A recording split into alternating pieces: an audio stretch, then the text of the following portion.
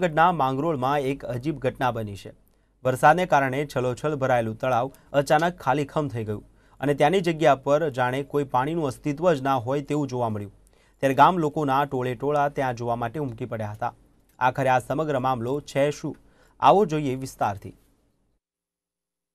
આ છે જૂનાગઢ જિલ્લાના માંગરોળ તાલુકાનું ફરગંટા ગામ, જ્યાં વરસાદી પાણીને કારણે તળાવ છલોછલ ભરાઈ ગયું હતું અને લોકોમાં હર્ષની લાગણી ફેલાઈ હતી.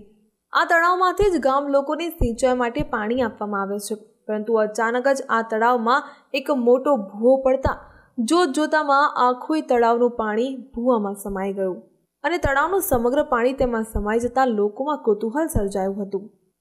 માંગરા તાલુકાના ફ્રંગટા ગામમાં મારી વાડીની બાજુમાં વેકરો આવેલ છે. વેકરામાં ભોયરું નીકળતા આશરે સાતથી આઠ કલાક તેમાં પાણી ગયું અને આગળ ફ્રંગટા ગામમાં પૂછ્યું નથી અને એના થકી વાડી વિસ્તારના જે કૂવા છે તેમાં ફાયદો થયો છે અને આની કોઈ સહાય થાય અને પાણી રોકાય એ બાબત જો કોઈ સહાય થતી હોય તો આભાર.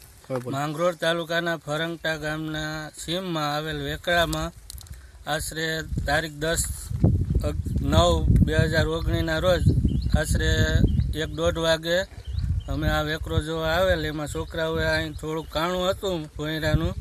એ જોયું ને જોયું તો એમાંથી હવા ઉત્પન્ન થતી હતી. એને લીધે વરસાદનું વિક્રમ પાણી આવ્યું ને પાણી થોડું થોડું જતા એ ભોંયરામાં થોડું થોડું ખોદતા. પાણી આશરે ત્રીસથી ચાલીસ ટકા એ ભોંયરામાં પાણી ગયેલ છે. તળાવનું પાણી જ્યારે ભૂવામાં સમાઈ રહ્યું હતું તે દ્રશ્ય પણ જોવાલાયક હતું. ગામ લોકોના ટોળે ટોળા આ ઘટના જોવા ઉમટી પડ્યા હતા. જો કે હાલ ચોમાસામાં ભરાયેલા આ પાણીને ભૂવાએ ખતમ કરી નાખ્યું છે. ત્યારે હવે ગામ લોકોએ પાણી માટે બીજા વિકલ્પનો ઉપયોગ કરવો પડશે. આ ભૂવા અંગે રહસ્ય હાલ તો અકબંધ છે અને આ તળાવનું પાણી ક્યાં ગયું તે પણ તપાસનો વિષય છે.